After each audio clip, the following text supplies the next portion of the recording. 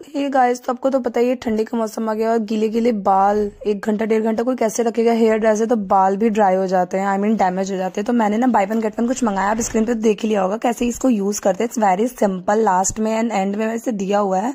But हाँ hair wash कर लो ना तो इसे ऐसे टाई करके आधा एक घंटा ऐसे रहो, कितना मतलब एक होता है ना, बाल इधर उधर या फिर टॉवल रहता है तो इधर उधर चला जाता है। इसकी वजह से ना ऐसे परफेक्टली ये मतलब लगा हुआ है सिर पे।